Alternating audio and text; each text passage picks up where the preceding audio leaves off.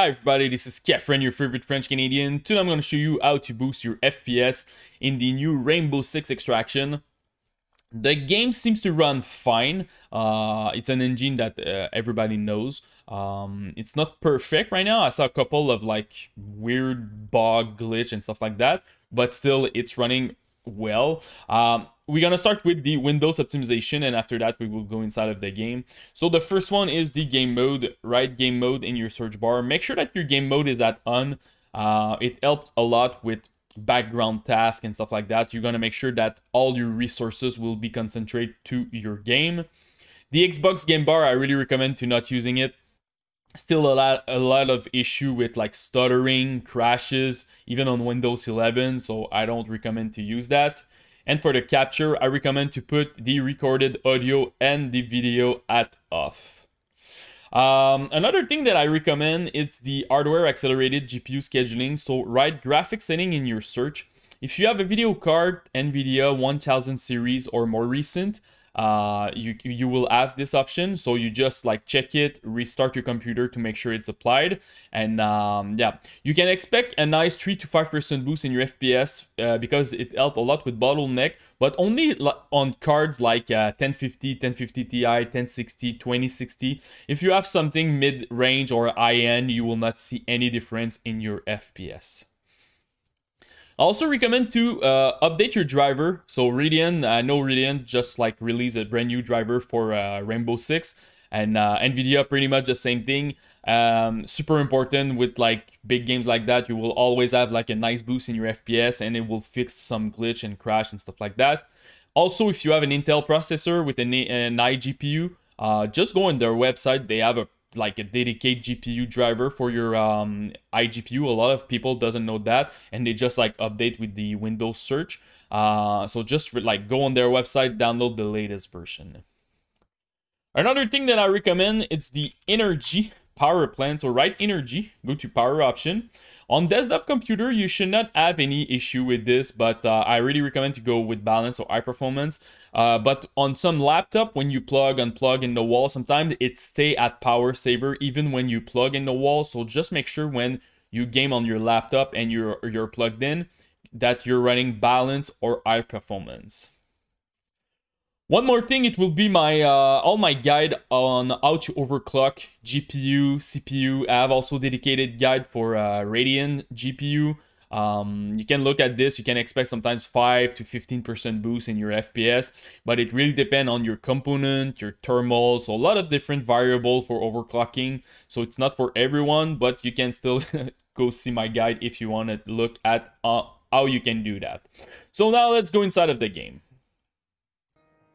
So now inside of the game, let's go to video first. Uh, display mode, make sure that you're using full screen. I did a couple of tests with window and borderless, and I was getting some weird stuttering in borderless, so that's why I recommend you go with full screen. For the resolution, I recommend your native resolution from your uh, monitor. So for me, it's 2K. If you have 1080p, go with 1080p. For your monitor, make sure that you're using the proper one. Refresh rate, super important to select your uh, amount of refresh rate. By default, me, the game was at 60 and I have a 170 hertz screen, so super important to look at this. Aspect ratio, I just use auto. For me, it's 16 by 9.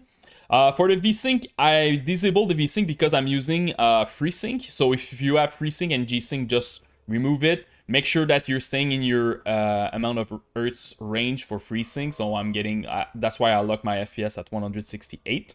Uh, super important. But uh, if you don't have FreeSync and G-Sync, just it's question of preference. If you uh, put your VSync at on, you will add some input lag, but you will not have any tearing when you're playing the game.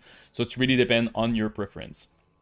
Field of view, I'm using 71 of field of view. Uh, this field of view is in, it's a vertical field of view, so you can use a converter online. 71 equal to 103 uh, horizontal field of view.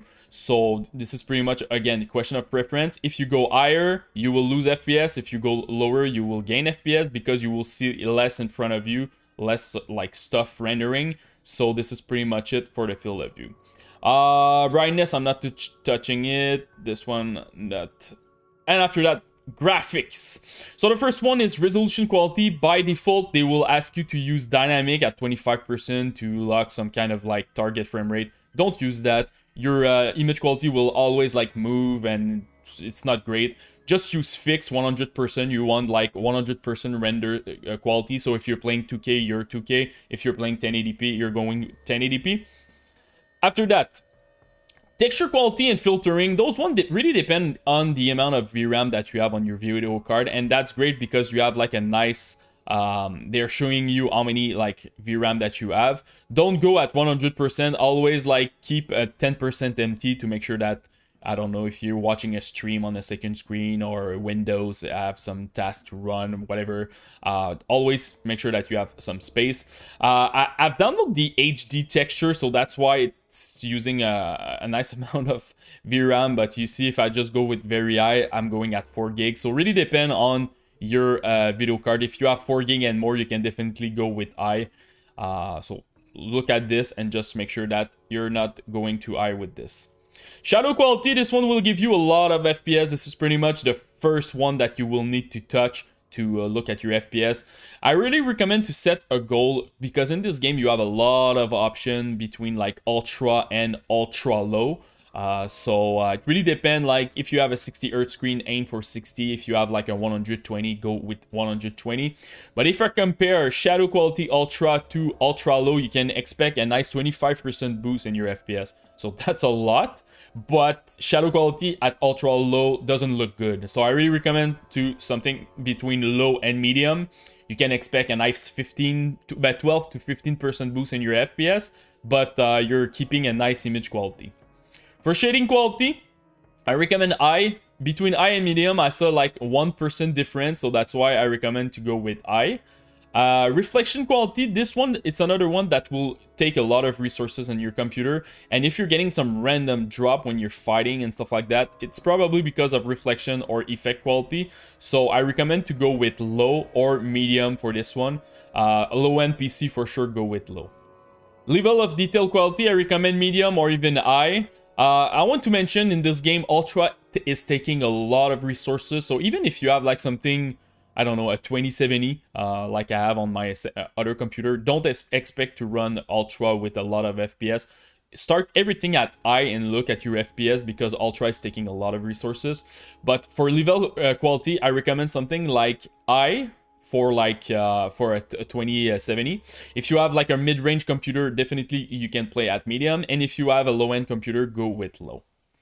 Effect quality, this one, if you're getting a lot of drop when you're fighting, go with something like very low or low. I know a lot of people don't really care about effect when they're playing shooters. Uh, so you can even go with ultra low. You will not gain a big amount of FPS, it's like 8%, but it's more like you will stabilize a lot your FPS when you're fighting. So again, question of preference. Me, I'm going with low. Anti-aliasing, this is more like... Um, Again, it's a question of preference. For me, anti-aliasing in this game, my game looked too blurry for me, so that's why I just remove it. Uh, so uh, my image is more clearer, and also I'm getting a lot of FPS with this. But I know a lot of people don't like like the jagged edge uh, when like line of kind of breaking uh, around the objects and stuff like that. So if you don't like that, go with FXAA. You will have like a basic anti-aliasing, and you will have also a nice boost in your FPS. But for me, anti-aliasing will be at off. Ambient occlusion, I recommend SSBC. For sure, you can remove it and gain a nice 10% FPS if I compare the HBAO to off, but your game will look flat. So that's why I recommend a minimum of ambient occlusion to SSBC. After that, sprawl quality, I recommend low or medium. Like, just do some testing. They're saying, like, uh, for example, medium, high quality up to 5 meter from the camera, and low is low quality all the time. So this is a huge difference between medium and low. But at when you are at sprawl quality, honestly, with all the stuff that you already changed, you should be fine with your FPS. So for me, I'm going with medium at 5 meter. Lens effect, I don't like those effect in those kind of games, so that's why I'm putting at off. And I always, I don't use depth of field in any game. I don't like that when I'm aiming. Uh, so I'm putting this one at off, but you will not gain any FPS with this. So this is pretty much my guide for Rainbow Six uh, extraction. If you have any questions, just come in in the YouTube section, post me your rig, CPU, GPU, and RAM. I will try to help you the best that I can. And don't forget to subscribe to the channel. Peace.